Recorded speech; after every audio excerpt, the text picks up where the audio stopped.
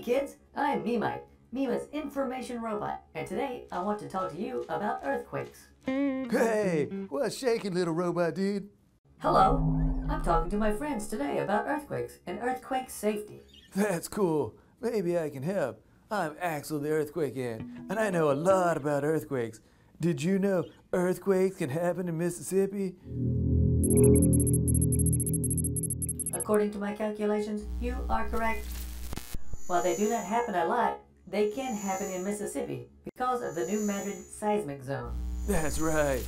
And when there's an earthquake, everything starts to shake. Whoa!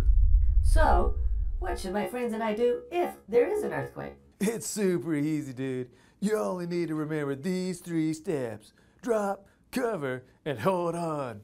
Let me practice so I can be prepared in case of an earthquake. First, I drop to the ground. That's right. This protects you from being knocked down and reduces your chances of being hit by falling objects. Then cover.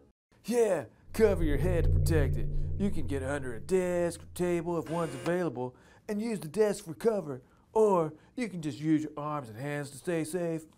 And last, I just hold on. That's it, dude. Just hold on till the shaking stops.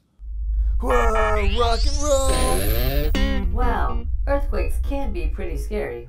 But they aren't as scary if you know what to do. That's right. Thank you, Axel, for helping me and my friends learn to drop, cover, and hold on if we ever have an earthquake.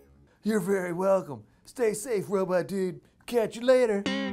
Bye, Axel. And if you want to practice your earthquake drill, you can sign up for the Great Shakeout at shakeout.org. This year, the Great Shakeout is on October 17th at 10:17 a.m. Stay safe, Mississippi.